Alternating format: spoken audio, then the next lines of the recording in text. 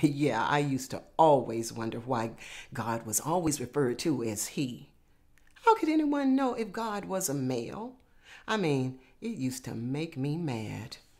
But then I got pregnant, and then I gave birth. Whoever engineered that little plan had to be a male.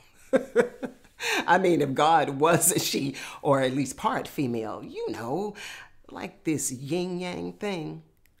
Some of the suggested engineering would have been to make the doorway bigger or at least stretch more.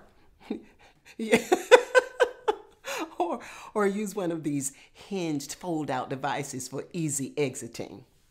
I mean, who, who thought that passing a watermelon through a needle hole was a good idea? Not a woman. It's like that whole flattening of the boob idea. A man. I just cannot see a panel full of women scientists sitting around a table saying, Oh, I know. Let's smush our breasts like a pancake between two plates of cold steel, then blast them with radiation. And the rest of the women raising their hands in victory, saying, Yes, let's. Oh, that's a great idea, Shirley. Do the test on me. yes. Now, I can see it now. now correct me if if I'm wrong.